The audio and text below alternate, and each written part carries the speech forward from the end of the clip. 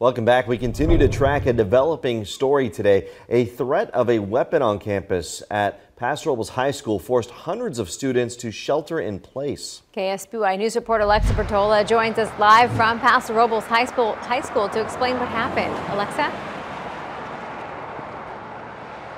Karina officials say that they got word that a student possibly hid guns in or around the Paso Robles High School campus. Now that's when students from four different schools were told to stay in their classrooms.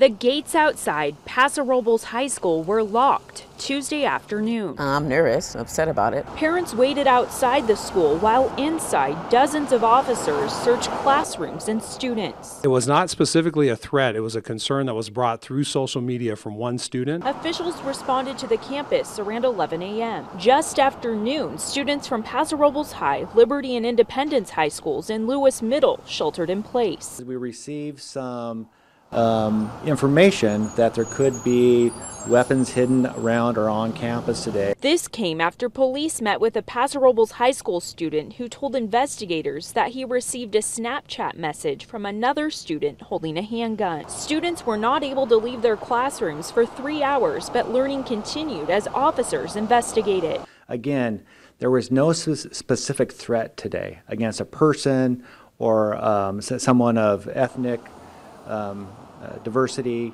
This was just the fact that someone heard through social media, through the grapevine, that there could be something hidden on campus. Elsewhere, officers scoured Centennial Park and Lewis Middle School. Uh, the specific allegation came that it may be hidden at Centennial Park or in an alley behind the schools that we've uh, fully investigated, walked. Uh, we have drug dogs and uh, uh, trained staff that are ensuring there's no gunpowder, explosive materials, or items. Paso Robles police confirmed Tuesday afternoon no guns were found. And the lockdown was lifted just after 3 p.m.